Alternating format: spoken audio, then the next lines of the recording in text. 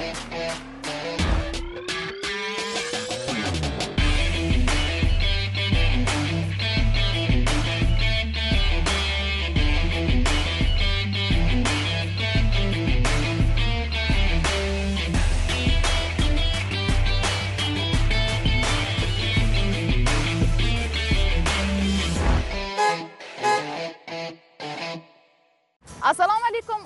O'zbekiston tarixi telekanalining qadrli muxlislari efirda yana dava taksi loyihasi va bugun ham biz ishtirokchilarimizga o'zbekiston va jahon tarixiga oid savollar tayyorlab qo'yganmiz.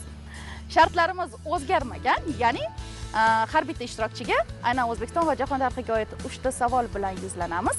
G'oliblarimizga esa maxsus sovg'alarimiz bor. Aynan barchaga xush kayfiyat tilagan holda biz yo'lga tushamiz. Qani ko'ramiz? Ko'rsatuvimizning bugungi g'olibi kim bo'ladi?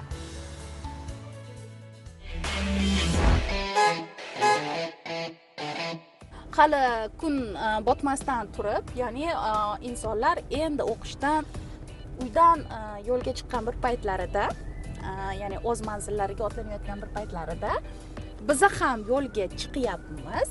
Mm, bugun o'qish kayfiyatida o'zgacha bir kayfiyat bilan mana ko'rsatuvimizni boshladik. Ilk ishtirokchimiz ham mm, bizni menimcha ko'p kuttirmaydilar mana mana bu yerda bir bola turibdi. Qani ko'ramiz. Assalomu alaykum. Qayergacha? Islom akademiyasiga. Islom akademiyasiga. Uncha uzoq emas ekan. Qancha berasiz?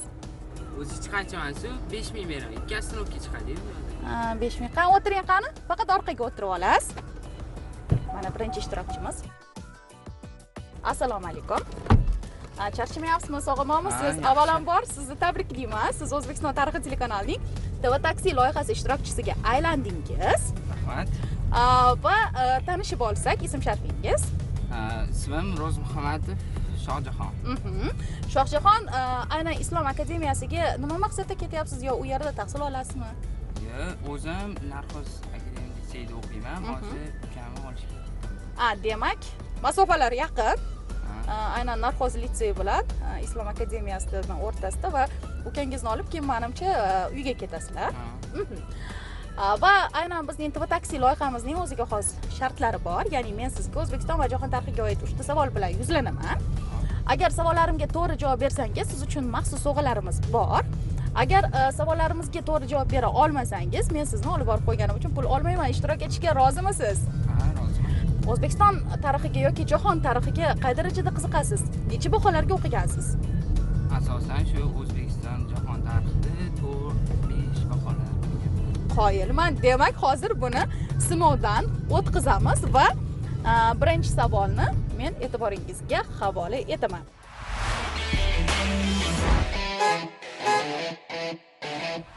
Dunyodagi birinchi temir yo'l bir ming yetti yuz oltmish to'rtinchi yilda a, qirol lyudovik o'n oltinchi buyrug'iga binoan parij shahrida qurilgan ekan savolim.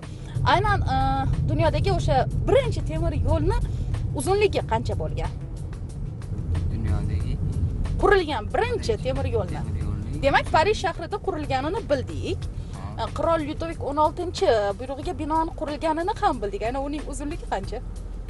Xohlasangiz variantlarni e'tiboringizga Ha, havola etaman a variantimiz yuz metr b variantimiz besh yuz metr c variantimiz ming metr parij deganingizda manimcha uzoqroq deb o'yladim mani javobim ming metr ya'ni a, bir kilometr bu ming metr hisoblanadigan bo'lsa demak siz aynan dunyoda qurilgan ilk temir yo'lning uzunligi bu ming metr ya'ni bir kilometr bo'lgan degan javobni tanladingiz? Endi bu qat'iy javobmi yoki o'zgartirasizmi? O'zgartira qolaman. O'zgartiring qani? B javob. Besh yuz metr. besh yuz metr. Endi bu qat'iy javob. Qat'iy javob. Ho'p lekin hozir aytsam ishonmaysiz. An- aynan dunyoda o'sha qurilgan ilk temir yo'l ya'ni bir ming yetti yuz oltmish to'rtinchi yilda qirol lyudovik o'n oltinchi buyrug'iga binoan parij shahrida qurilgan ilk temir yo'lning uzunligi bor yo'g'i yuz metr bo'lgan ekan. Qoyilmisiz ochig'i e, ushbu ma'lumotni men ham o'qiganimda biroz taajjubga tushgan edim. Chunki e, temir yo'lning masalan uzunligi qanday qilib yuz metr bo'lishi mumkin ammo tarix zarvaraqlarini ochib qaraydigan bo'lsak bu haqiqatdan ham fakt. Ya'ni ilk temir yo'lning uzunligi bor yo'g'i bor yo'g'i yuz metr tasavvur qilyapsizmi? Qisqagina e, joy bo'lgan deganingiz uchun ko'proq masofani tanlagandim. Aha hech qisi yo'q. Lekin aqlga sig'maydi 100 metr bo'lishi lekin 1764 yil nuqtai nazaridan olib qaralganda 100 metrgina e, bu ham yaxshi menimcha variant bo'lgan bo'lsa kerak. Hech qisi yo'q hali oldinda yana ikkita savolimiz bor. Ikkinchi savolni e'tiboringizga havola etaman.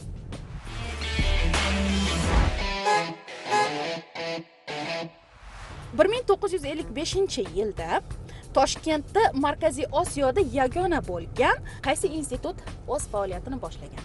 Bir ming to'qqiz yuz ellik beshinchi yilda. Umuman markaziy osiyoda yagona bo'lgan. Aynan ushbu institut toshkent shahrida o'z faoliyatini boshlagan ekan. U qaysi institut? Xohlasangiz bunga ham variantlarni havola etaman. Variant. Ho'p a variantimiz yadro fizika instituti b variantimiz toshkent davlat sharqshunoslik instituti c variantimiz toshkent arxitektura qurilish instituti sharqshunoslik toshkent arxitektura qurilish instituti toshkent davlat sharqshunoslik instituti va yadro fizika instituti javobim Mm. d variant oxirgi variant. Ya'ni sizning tanlagan javobingiz toshkent arxitektura qurilish instituti. Nega endi har safar e, nima deydi oxirgi variantlarni tanlayapsiz? Aynan a, to'g'ri bularning har biri mm, markaziy osiyoda yagona bo'lishi mumkin lekin biroq aynan bir ming to'qqiz yuz ellik beshinchi yilda agar ularning yilini ham hisobga oladigan bo'lsangiz ushbu institut hozir ham o'z faoliyatini olib boryapti. Yordam beryapman sizga ushbu javob variantingiz noto'g'ri? Ikkinchi variant b variant. Demak toshkent davlat sharqshunoslik instituti. Xuddi e, birinchi savolga bergan javob variantlaridagi bo'lyapti. Unda ham c variantini tanlab keyin b variantiga variantiga o'tgandingiz.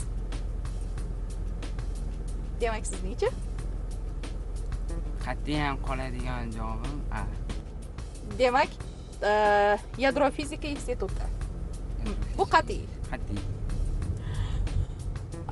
bu safar siz yutdingiz haqiqatdan ham bir ming to'qqiz yuz ellik beshinchi yilda toshkentda yadro fizika instituti o'z faoliyatini boshlagan va ushbu institut umuman nafaqat yurtimizda balki markaziy osiyo hududida ham yagona hisoblangan institutdir biru bir e, va sizni tabriklayman ushbu muvaffaqiyatli javob bilan va shu o'rinda kelajakda mana kim bo'lmoqchisiz kelajakda xudo xohlasa iqtisodchi iqtisodchi bo'lmoqchisiz demak matematikani yaxshi bilasiz ochig'i faylasuflarda bir gap borda mana hozir biz tirbandlikdamiz shu bois ham o'zimga o'sha qiziqarli bo'lgan savollarni beryapman umuman aytishadiki matematikani yaxshi bilgan odam sodir bo'layotgan voqea hodisalarga umuman atrofida bo'layotgan jamiyatda bo'layotgan voqea hodisalarga boshqacha ko'z bilan qaraydi ularni fikrlashi umuman boshqacha bo'ladi deyishadi. Siz bu fikrga qay darajada qo'shilasiz? To'g'ri deb bilaman demak sizning ham e, aynan boshqalarga nisbatan o'zingizga xos dunyoqarashingiz va biron bir voqea hodisaga nisbatan o'zingizni real bir e, xulosalaringiz bor. To'g'ri. Qoyilman E, bu haqda ham siz bilan suhbat qurgan bo'lardim. Biroq vaqtimiz chegaralangan bo'lgani uchun uchinchi savolni e'tiboringizga havola etaman.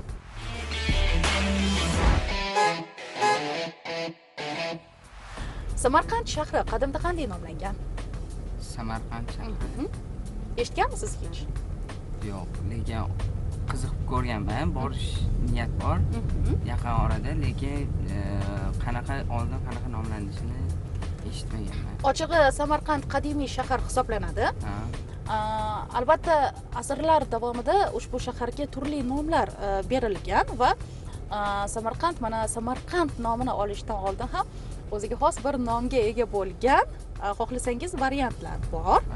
A variantimiz kesh b variantimiz afrosiyob c variantimiz ming o'rik. Afrosiyob afrosiyob qulog'ingizga chalingan. Ha.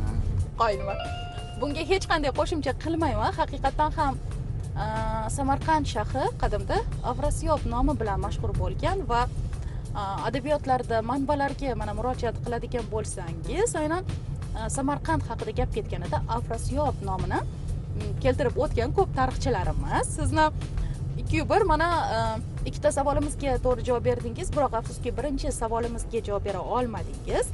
Biroq shunday bo'lsada siz ishtirok etdingiz va o'zingiz uchun qanday xulosalarni chiqardingiz? O'zim bilmagan narsani o'rganib oldim va e, bilgan savollarim tushmadi. Aha qanday savollarni bilardingiz? Mana qaysi mavzularni ko'proq bilardingiz? E, ko'proq shu e, boshqa fanlar misol uchun fizika fizikaga ko'proq qiziqaman matematika fizikaga Mhm. asosiy qiziqadigan fanlarim sh- e, shulardan savol lekin bizning telekanalimiz tarix telekanali bo'lgani uchun o'zbekiston tarixi telekanali bo'lgani uchun ham e, aynan e, jahon va o'zbekiston tarixiga oid savollar beramiz. Odatda mana ko'rsatuvimizni o'ziga xos yo'nalishi shundan iborat. Mana biz manzilimizga yetib keldik. E, eng avvalo ishtirokingiz uchun sizga tashakkur. Agar siz uchala savolimizning har biriga to'g'ri javob berganingizda balki telekanalimiz uchun siz uchun tayyorlab qo'yilgan e, maxsus sovg'alarga ega bo'lgan bo'lar edingiz. Biroq afsuski uchta savolimizdan siz ikkitasiga javob berdingiz va men sizni olib kelganim uchun e, yo'l kira olmayman. Ishtirokingiz uchun tashakkur. Rahmat sizlarga ham kattakon yo'llaringiz ochiq bo'lsin. Rahmat ishlaringlarga omad. Rahmat.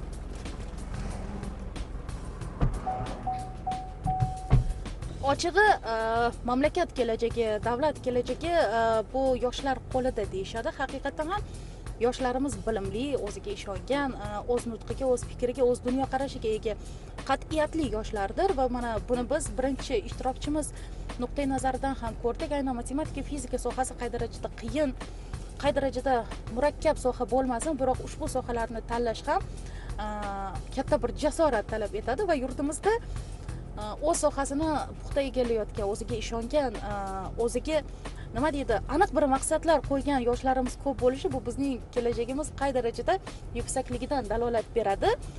Ochig'i kayfiyatni tushirmaymiz va xush kayfiyatda yo'limizda davom etamiz. Qani ko'ramiz keyingi ishtirokchimiz kim bo'larkan va ular savollarimizga qay darajada javob berishadi? Balki g'olibimiz aynan ikkinchi ishtirokchimiz bo'lar. Buni kuzatamiz.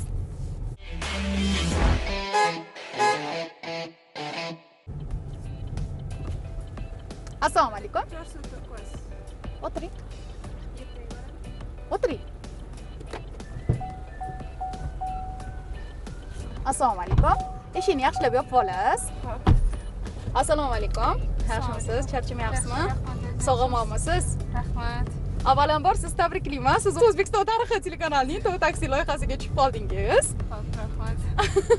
Tanishib olsak ism sharifingiz munisa munisa qayerga ketyapsiz uyga hozir ishdan chiqdim ishdan chiqdingiz va uyga ketyapsiz va ushbu loyihamizning o'ziga xos shartlari bor ya'ni men sizga o'zbekiston va jahon tarixiga oid uchta savol bilan yuzlanaman agar savollarimga to'g'ri va aniq javob bersangiz siz uchun maxsus sovg'alarimiz bor agar savollarimni balki birontasiga balki hammasiga yoki ikkitasiga javob bera olmasangiz men sizni olib borib qo'yganim uchun pul olmayman ishtirok etishga rozimisiz roziman ho'p ä, qayerda ishlaysiz arkikod firmasida arxitektorlik firmada aha demak arxitektorsiz loyihalash bo'lajak arxitektor bo'lajak arxitektor judayam murakkab soha lekin o'zini sohasini nima deydi yaxshi bilgan odamga uncha qiyinchilik tug'dirmaydi manimcha aynan sohangiz bo'yicha qanday bir yangiliklar qilyapsiz hozirda stajirovkada ishlayman malaka oshirishda malaka oshirish studentman o'qiysiz o'qiyman ochig'i judayam xursand bo'ldim mana sizdan oldingi ishtirokchimiz ham ular ham mana o'z oldilariga ulkan maqsadlar qo'ygan yoshlarimizdan biri ekan aynan bu borada biz judayam xursand bo'lib ketayotgan edik umuman ishtirokchilarimiz o'ziga ishongan o'z dunyoqarashiga o'zini tanlagan yo'liga ega bo'lgan ishtirokchilar va biz bundan xursand bo'lyapmiz agar masofamiz yaqin ekan va savollarimni tez tez e'tiboringizga havola etsam demak birinchi savolim.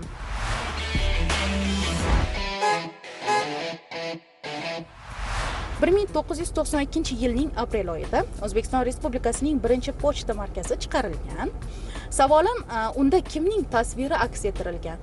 Mana e, o'sha o'zbekiston mustaqil bo'lgandan keyin sekin sekin pochta markalariga o'zgartirish kiritib unda e, bizning aynan tariximizda o'z izini o'z nomini qoldirib ketgan ajdodlarimizning suratlari qo'yilishni boshlaganda aynan bir ming to'qqiz yuz to'qson ikkinchi yildagi pochta markasiga kimning surati tushirilgan? Agar xo'p desangiz variantlarni e'tiboringizga havola etaman. A variantimiz amir temurning b variantimiz mo'xlaroyim ya'ni nodira taxallusi bilan ijod qilgan shoiramizning c variantimiz mirzo ulug'bekning. Mirzo ulug'bek varianti endi bu taxmin. Taxmin ochig'i insonni insonni judayam chalg'itadigan e, savol bo'ldi. Boisi e, o'zim ham mana shu savolni javobini ko'rganimda katta katta ko'zlarim chiqib ketgan. Menga ham kimdir shu savolni berib mana shu javoblarni berganda men aynan to'g'ri javobni emas balki aksincha boshqa javobni tanlagan bo'lardim. Keling men sizga yordam beraman. Bu javobingiz noto'g'ri. amir temur va mohlar oyim javob variantlari qoldi. Mahliroyev bo'lsa kerak. Endi e, siz ham bu variantni tanlamagan bo'lardingiz biroq men bergan yordamdan keyin aynan shu javobni tanladingiz. Haqiqatdan ham javobingiz to'g'ri. Aynan bir ming to'qqiz yuz to'qson ikkinchi yilda o'zbekiston respublikasida o'sha chiqarilgan birinchi pochta markasiga e, ajoyib shoiramiz e, o'ziga xos yo'nalishda ijod qilgan adabiyotimizning yorqin namoyandalaridan biri bo'lmish nodiraning ya'ni e, o'sha nodira mohlaroyim taxalluslari bilan ijod qilgan ijodkorimizning tasviri tushirilgan edi. Birinchi muvaffaqiyat tabriklayman. Rahmat. E, agar shu kayfiyatda davom etadigan bo'lsak balki bugungi ko'rsatuvimizning g'olibi bo'larsiz. Demak ikkinchi savolim.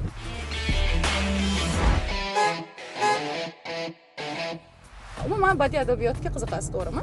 Menimcha e, arxitektor bo'lganingiz uchun aynan o'zing- o'zingizni sohangizga mos adabiyotlarni o'qisangiz kerak lekin bu savolim sizni biroz chalg'itishi tayin. Optikaga bag'ishlangan kitob al manozir ya'ni tasvirlar kitobi. Kimning qalamiga mansub qiyin savol. Qiyin savol. Э, men hozir e, javob berganingizdan keyin nega aynan ushbu savolni sizga havola etganimni ham izohlab ketaman. Variantlarni mm, taqdim etadigan bo'lsam a variantimiz jobir ibn hayyon b variantimiz abul vafo muhammad ibn yahyo buzjoniy c variantimiz qutbiddin ibn haysam. Birontasini eshitmagansiz? Eshitmaganman Mhm. to'g'risi demak siz b variantini tanlayapsiz buzjoniy ho'p. qisqasi e, biroz e, ichingizni qizdirib e, cho'zmoqchi edim. Biroq manzilimiz yaqin bo'lgani uchun cho'zmayman afsuski bu javob variantingiz noto'g'ri. Aynan optikaga bag'ishlangan kitobul manozir ya'ni e, tasvirlar kitobi muallifi bu aynan qutbiddin ibn haysam hisoblanadi bejiz ushbu savolni bermadim aynan ushbu kitob bir ming ikki yuz yetmishinchi yilda lotinchaga o'girilib bir nechta yevropa mamlakatlarida chop etilgan va hozirgi kunda ham aynan tibbiyotning o'ziga xos yo'nalishida haligacha hali hanuz tibbiyot o'sha soha mutaxassislari uchun kerakli qo'llanma hisoblanadi aynan qutbiddin ibn haysam to'qqiz yuz oltmishinchi bir ming o'ttiz to'qqizinchi yillarda yashab ijod etgan o'z sohasining o'z davrining yetuk bir olimlaridan biri hisoblanadi. Mm, kayfiyatni tushirmang hali uchinchi savol bor oldinda. Demak e, uchinchi savolim.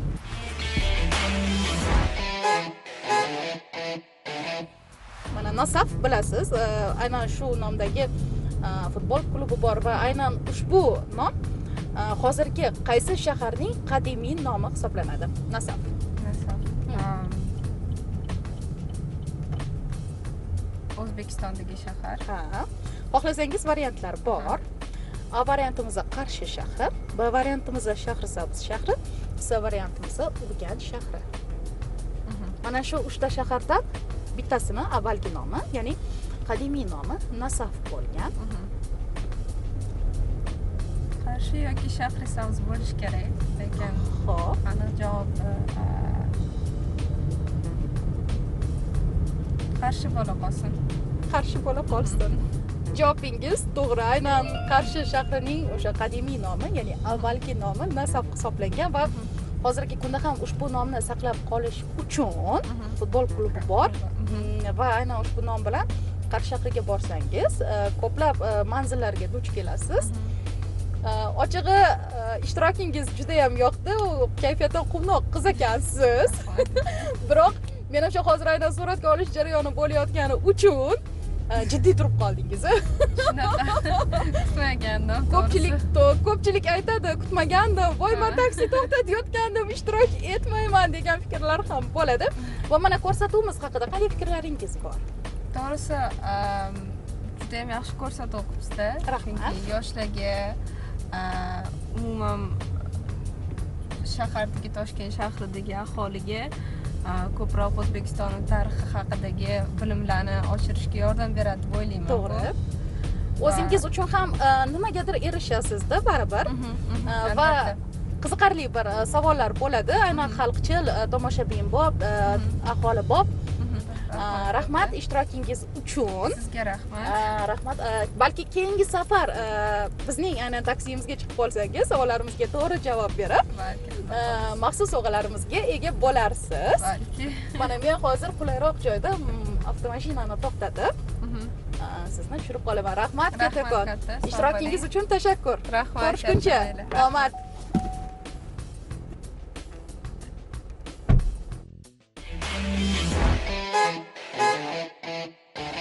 mana ikkinchi ishtirokchimiz ham o'z manzillarida qoldilar. Biroq e, ular e, savollarimizga javob bera olmadilar va e, g'olibimiz bo'lmadilar. Afsuski men ular g'olib bo'lsalar kerak deb o'ylagan edim. Kayfiyatni tushirmaymiz. G'olib bo'lsa bo'lmasa eng muhimi ishtirok va o'zingiz guvohsiz. O'sha bizda ishtirok etayotgan ko'plab ishtirokchilarimiz mm, o'zlariga e, qisqa bo'lsada ma'lum bir ma'lumotlarni olib o'zlari uchun e, o'sha nima deydi asqotadigan kerakli ma'lumotlarni olib ketishyapti va bizning ko'rsatuvimizning e, aynan maqsadi ham shunday edi. Va xush kayfiyatda mana yo'limizda davom etyapmiz. Shahar bo'ylab mana aylanamiz yuramiz ko'ramiz va mana yana bir bola to'xtatib turibdilar. Qani ko'ramiz ular qayergacha boradilar. Assalomu alaykum. Konservatoriyaga konservatoriyaga qancha berasiz o'n ming o'n ming o'tiring konservatoriyagacha demak assalomu alaykum eshikni bitta yaxshilab. Yopib olasiz salom assalomu alaykum charchamayapsizmi endi qayerga otlanyapsiz ishdan uyga yoki o'qishdan uyga yoki uydan o'qishga qayerga? Ishdan uyga ishdan uyga. Mhm. avvalambor sizni tabriklayman. Ya'ni siz o'zbekiston tarixi telekanalining tv taksi loyihasi ishtirokchisiga aylandingiz. Uh, keling tanishib olsak ism sharifingiz? Davronboyev maqsud ali Uh, maqsudali qayerda ishlaysiz yoki o'qiysiz? Ishlayman oilaviy do'konimiz bor Mhm. demak uh, kichik bir tadbirkorlik bilan shug'ullanasiz. Endi kelajakda ham tadbirkorlik faoliyatini davom ettirmoqchimisiz yoki boshqa maqsadlaringiz bormi kelajakda kattaroq qilib do'kon ochmoqchimiz. Xudo Mhm. xohlasa aha albatta kelgusi rejalaringizga amalga oshishiga tilakdoshman va men sizga o'zbekiston va jahon tarixiga oid uchta savol bilan yuzlanaman. Agar savollarimga to'g'ri va aniq javob bersangiz siz uchun maxsus sovg'alarimiz bor. Agar savollarimga to'g'ri javob bera olmasangiz men sizni olib borib qo'yganim uchun pul olmayman. Ishtirok etishga rozimisiz? Roziman keling aynan o'yinimizni boshlashdan oldin so'rasam o'zbekiston va jahon tarixi fanidan qay darajada yaxshi o'qigansiz. Shuncha yaxshi emas to'rt besh to'rt besh uchi ham bor. Hmm. Aytmadingizda o'g'il bolani bahosi ko'p. Deb o'g'il A, tarixni aynan qaysi yo'nalishlariga qiziqasiz misol uchun o'n to'qqizinchi yigirmanchi asrmi yoki ming yil oldingi tarixmi? Qanday bir tarixni qaysi yo'nalishiga qiziqasiz katta o'zgarishlar bo'lgan bir davr to'g'rimi. Mhm. bo'pti demak savolimni boshlayman birinchi savolim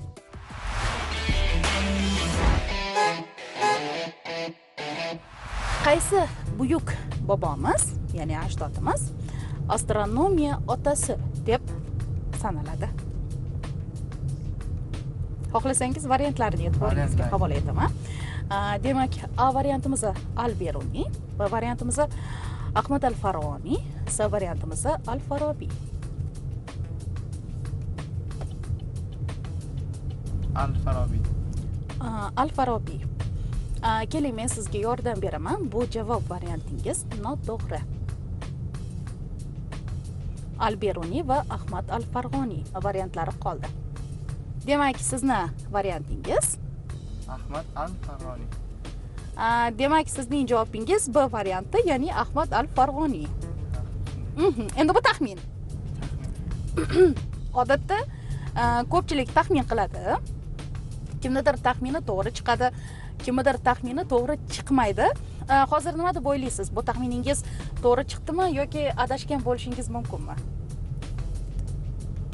Adashgan bo'lish lekin baribir shu variantda qolasiz to'g'rimi? shu variant qoladi. Bu javobingizni hech qanday qo'shimcha qilmayman. Haqiqatdan ham aynan bizning buyuk bobokalonimiz ahmad al farg'oniy astronomiya otasi deb nomlanadi. Boisi uning samoviy harakatlar va umumiy ilmi nujum asari 12 asrda ko'plab yevropa tillariga tarjima qilingan va hozirgi kunda ham aynan astronomiya fanining o'ziga xos bir poydevori bo'lib xizmat qiladi ushbu asar va shu bois ham ahmad al farg'oniy bobomiz astronomiya otasi deb ham sanaladilar. Qoyilman birinchi muvaffaqiyat. Demak bu yaxshi natija va ikkinchi savolni e'tiboringizga havola etsam.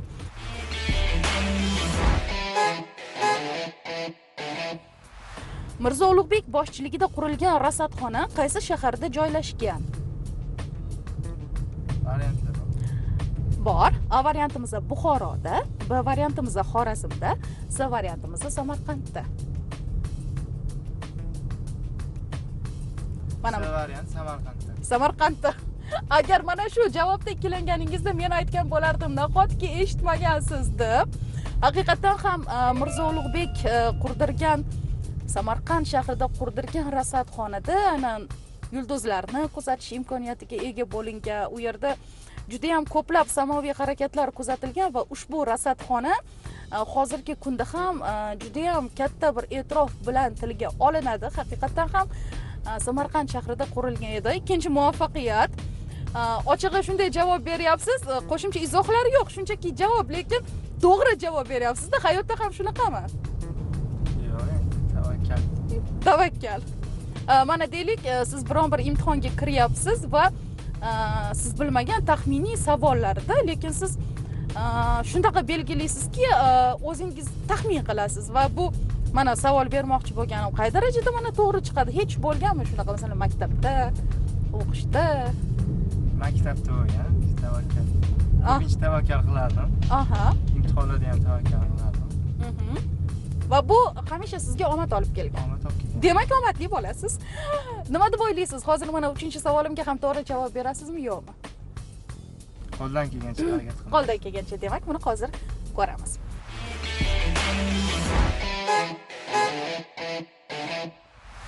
Kosinuslar teoremasini qaysi olim ya'ni qaysi buyuk bobokalonimiz kashf etgan? Mana matematikada aynan mana shu maxsus bo'lim bor kosinuslar teoremasi degan Aa, judayam murakkab bo'lim lekin uni tushunsangiz undanda osoni yo'q variantlar. Xo'p. A variantimiz Abu Rayhon Beruniy, B variantimiz Al Farg'oniy, C variantimiz Al Farobiy. abdurahmon beruniy Oh, taxmin yoki bilasizmi?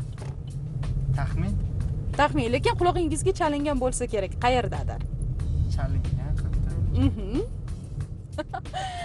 Ochig'i kutmagandim. Aa, Juda ham kam gap bor ekansiz. Men o'ylagandim, bu bola bilan suhbatimiz qanday kechar ekan, savollarimizga qay darajada to'g'ri javob berarkanlar deb o'ylagandim, biroq siz savollarimizning hammasiga to'g'ri javob berdingiz va ko'rsatuvimizning bugungi g'olibi bo'ldingiz. Sizni tabriklayman. Aa, Ochig'i o'zingiz kutganmidingiz? Aynan taksi, mana shu TV taksi loyihasiga tushib qolaman. Umuman yutaman g'olib bo'laman deb o'ylaganmidingiz? Umuman mana shu ko'rsatuvimizni zangori ekranlar orqali kuzatib turasizmi? Yo'q birinchi marta. Birinchi marta? Birinchi marta. Ko'plab mana xorijiy telekanallarda ham aynan shu kabi ko'rsatuvlar bor. Ularga ham ko'zingiz tushmaganmi? Yo'q yo'q televizor ko'rmayman. Judayam yaxshi bor ekansiz unda ochig'i mana birinchi marta ko'ryapman birinchi marta deyapsiz fikringiz qanday ushbu loyihamiz bo'yicha yaxshi ko'rsatuv ekan Mhm, yanada ko'paysin mhm. ishlarga rivoj rahmat va oldinda qanday rejalaringiz bor kattaroq biznes qilib Mhm. magazin ochish kattaroq ya'ni yurtimizga ko'plab investitsiya kiritish va ota onangizni o'sha ota onangiz orzu qilgan farzand bo'lib aynan davlatimiz yurtimiz uchun kerakli kadr bo'lib aynan o'zbekiston nomini butun dunyoga keng yoyitish yoritish manimcha maqsadingiz. Albatta oldinda nimani rejalashtirgan bo'lsangiz qanday rejalaringiz bo'lsa barchasi amalga oshishini tilab qolaman va sizni tabriklayman. Siz bugungi g'olibimiz bo'ldingiz. Ochig'i sizgacha ikkita ishtirokchimiz bo'ldilar biroq ular savollarimizga e, to'liq javob bera olishmagani uchun ko'rsatuvimizning g'olibi bo'lmadilar. E, men ochig'i juda yam qo'rqgan edim. Nahotki ko'rsatuvimizning bugungi sonini e, g'olibi bo'lmaydi deb biroq mana siz chiqdingiz. Va taxmin bo'lsada ana ikkilanib turib mana shu bo'lsa kerak deb javob berdingiz. Omadli yigit, yigit ekansiz. Haqiqatdan hayotda hamisha omadli bo'lib qoling deb qolaman va aynan telekanalimiz nomidan mana shu maxsus sovg'alarni sizga taqdim etaman. Ko'rishguncha. Rahmat omad. Sen. rahmat.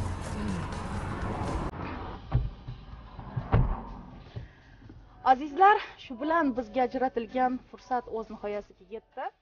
Guvohi bo'ldingiz e, bugun ishtirok etgan har uchala ishtirokchimiz ham e, qaysidir ma'noda yoshlar va yurtimiz kelajagi hisoblanadilar. Ularni o'ziga bo'lgan ishonchi ularni o'ziga xos dunyoqarashi oldiga qo'ygan maqsadlari bularning barcha barchasi e, yurtimiz kelajagi mana shunday qobiliyatli iqtidorli omadli yoshlar qo'lida ekanligidan dalolat beradi. Biz esa e, nima bo'lgan taqdirda ham e, hamisha olg'a yuring deb qolamiz. Va fursatdan foydalanib o'zbekiston tarixi telekanalining tv taksi loyihasida yana bir haftadan so'ng ko'rishguncha deb qolamiz. Biz esa yo'limizda davom etamiz.